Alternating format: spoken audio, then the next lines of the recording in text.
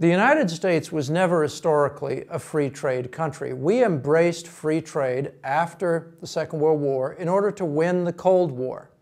The reality was that the world was in ruins and we needed to prop up the economies of foreign nations so that they wouldn't go communist and also bind them to dependence upon ourselves. That's why we embraced free trade. There was never any point at which we discovered miraculously that the policy of protectionism that we had embraced for 150 years was wrong and that free trade was suddenly right.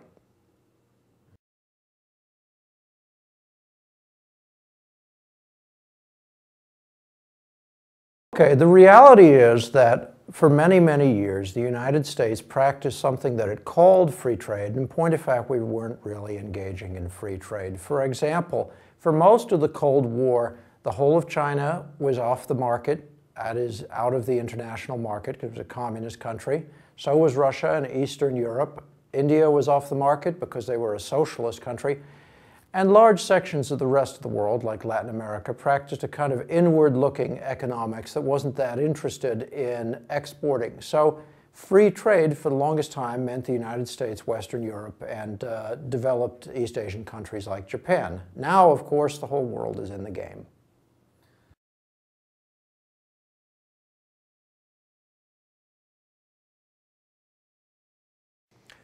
One might wonder why, if the U.S. embraced free trade as a Cold War policy, why we didn't give it up when we won the Cold War. Uh, the answer is that we had created through this policy of free trade a vast complex of special interests which were now entrenched in power and they were making so much money from it that they wanted it to continue whether or not it still made any geopolitical sense.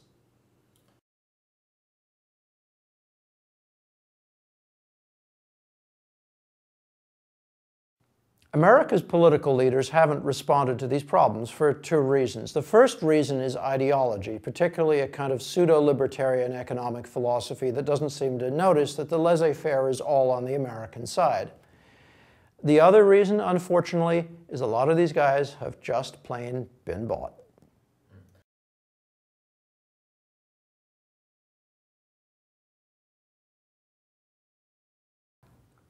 Possibly the worst effect of increasingly free trade or free one-sided trade in the United States is it enables corporate America, which is, after all, in a capitalist society, the people who are not entirely but largely calling the shots, it enables them to become indifferent to the economic fate of ordinary Americans. Now, if you just think for a second, it's fairly easy to understand why this happens. If corporate America pretty much has to make a profit by selling goods made by Americans to Americans. This means that corporate America has an intrinsic interest in the productivity of Americans and in their ability to consume. Now, productivity plus consumption is prosperity. I mean, that, that's pretty much all it is. So if you have an economy that's set up that way, then corporate America pretty much wants what the rest of us want. And for decades in this country, from roughly about 1940 to about 1975, there was an, uh, an arrangement in this country where things were set up that way. It wasn't perfect, but there was, broadly speaking, a structural alignment between what was in the interests of big corporations in this country and what was in the interest of the average American.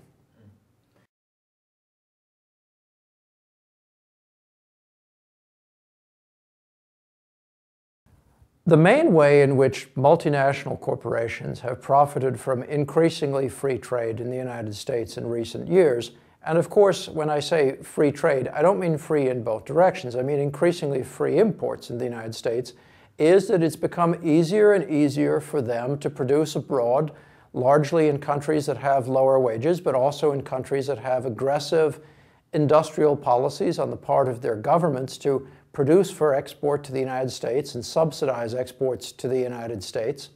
And as a result, they've made out like bandits. They've had increasing profits, remarkably enough, at a time when the rest of the economy has not been doing that well. We've been seeing record profits of Fortune 500 companies, which is a somewhat unusual result. Normally, for most of American history, corporate profits track the overall performance of the economy, but there's been an emerging disconnect there for some decades now.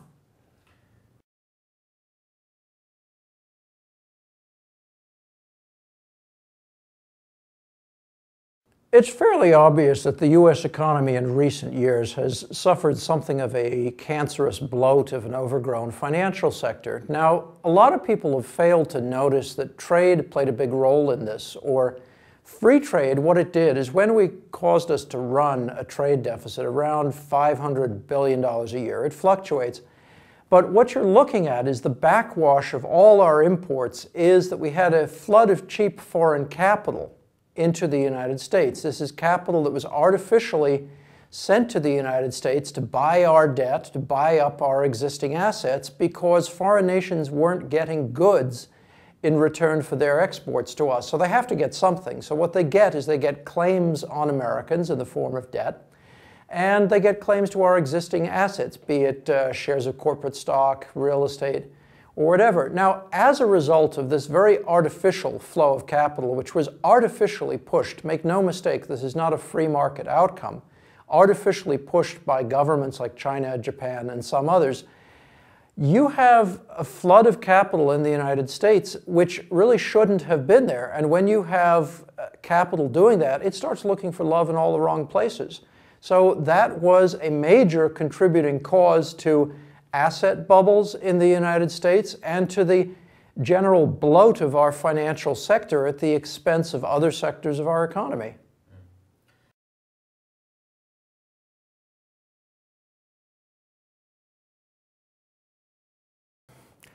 Currency manipulation sounds like something technical and obscure. In point of fact, it isn't. It's very important because currency is money, so it determines what's profitable and what's not, so it determines what happens and what doesn't.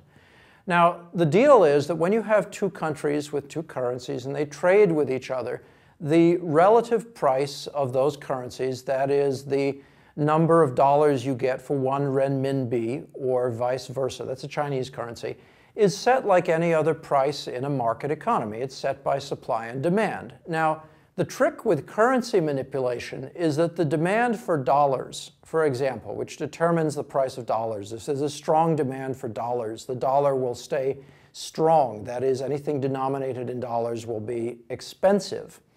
Is that the demand for dollars is not only for dollars to buy American exports, the things the Chinese actually do buy from us, like the Boeing jetliners, like soybeans. There's also a demand for dollars to buy American financial instruments, which means debt and title to existing assets, which can be anything from skyscrapers in downtown Los Angeles to shares of Microsoft.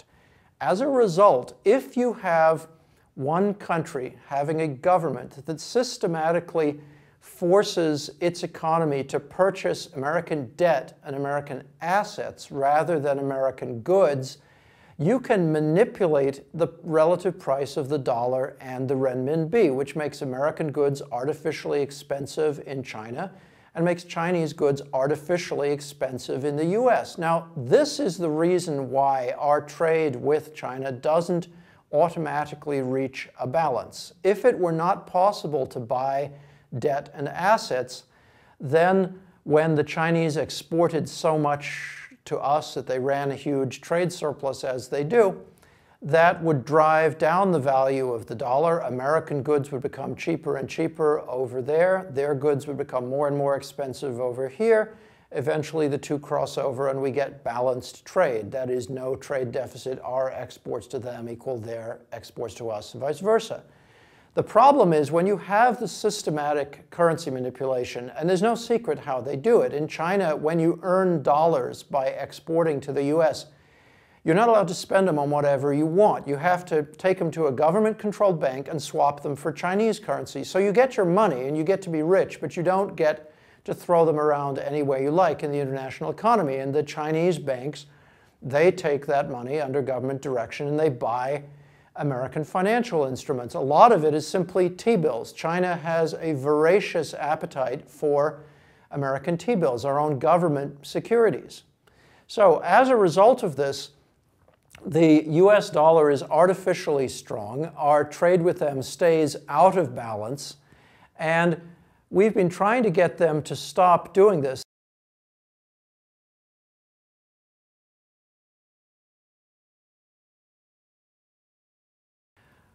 I believe the Congressional Research Service at one point documented, I think it was 457 different barriers to American exports worldwide. Now, I wouldn't be surprised if the Chinese have since added a couple. The fact is that when you have a state capitalist economy where the government may not own everything, but it can manipulate everything from the cost of international shipping to the price of real estate, the price of electricity, the cost of capital, the cost of labor, they can indulge in an almost infinite number of tricks to subsidize their own exports and to keep out foreign imports that they don't want.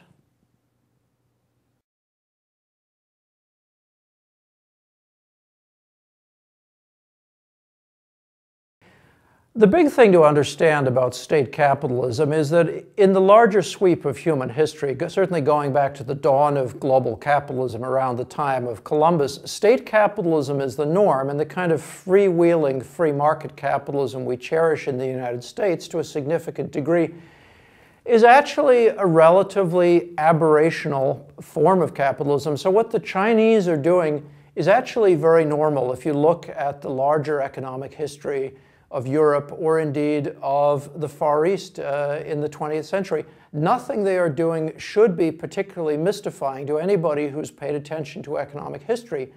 Unfortunately, nobody cares about economic history anymore, which is a tragedy, and it's one of the reasons why American economists are so blind to these issues.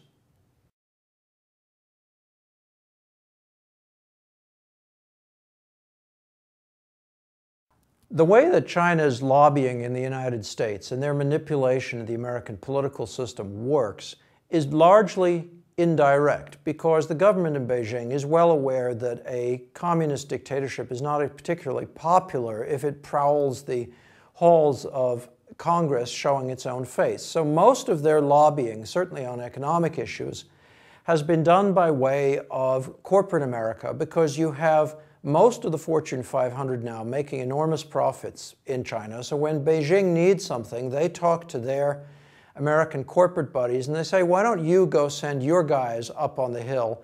And it's not going to look like it's us doing it, but that way we get what we want and you'll get what you want. That is a continuing flow of profits.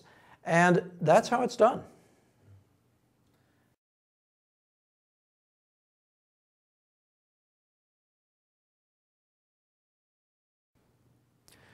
I'm not worried about a trade war with the Chinese because, frankly, we're already in a trade war and America is losing.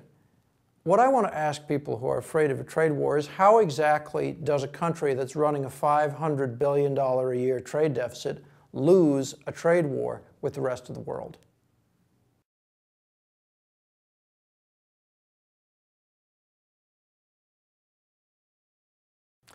It's pretty much inevitable at this point that the dollar is going to slide. There's no question that the dollar is an internationally overvalued currency. Now, whether the dollar slides gradually over a number of years or whether it exhibits a sudden crash, I can't tell you.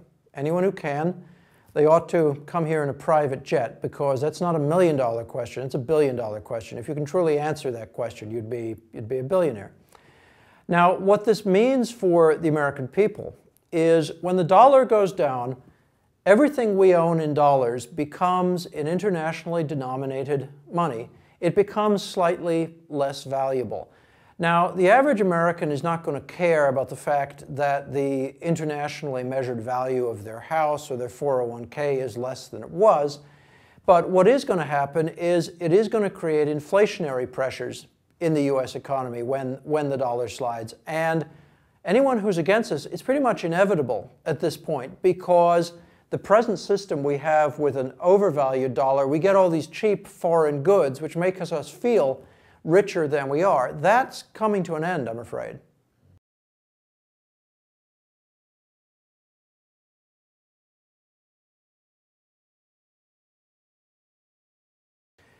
Protectionism kind of has a bad name to some extent because it's been focused in the last couple of decades on trying to protect industries that are already dying, like the steel industry was in terrible trouble, textiles, and so forth. That is sometimes the right thing to do, but it's far more important to use protectionism as a tool to capture the industries of the future and to protect the industries of the present from falling into trouble, not simply as an ambulance to rescue industries that are already in trouble.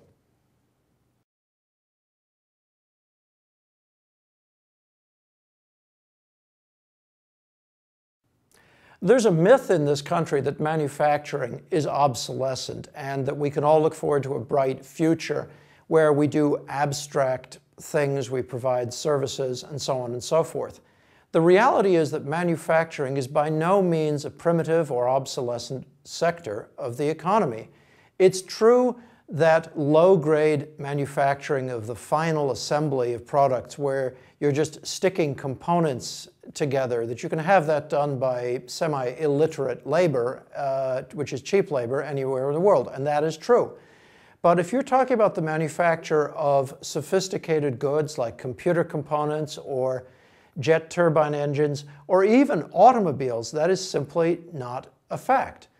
Why is it, I have to ask people who believe in this post-industrial mythology, that high-wage countries like Germany and Japan, which pay manufacturing wages equal to or greater than the United States, are still leading centers of car manufacturing? It's simply not true that you can't do manufacturing in developed countries. That is pure mythology.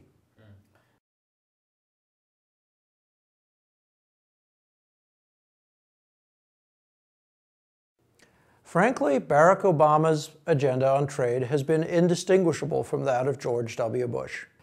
During the 2008 Democratic primaries, around the time of the Ohio and Pennsylvania primaries, Hillary Clinton and Barack Obama got into a bit of a contest as to who could denounce NAFTA, and they both did at that time.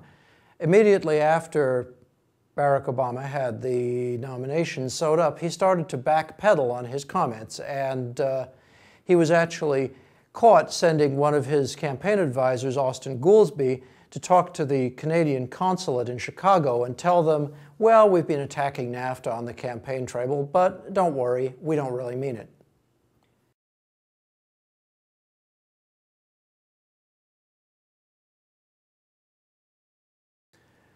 The present order in the United States, with the United States practicing one-sided free trade, is, I think, doomed no matter what. It's inevitably going to go away. Personally, I would have no problem with going back to the Teddy Roosevelt era of a tariff-protected economy, but there's more than one way to skin a cat here.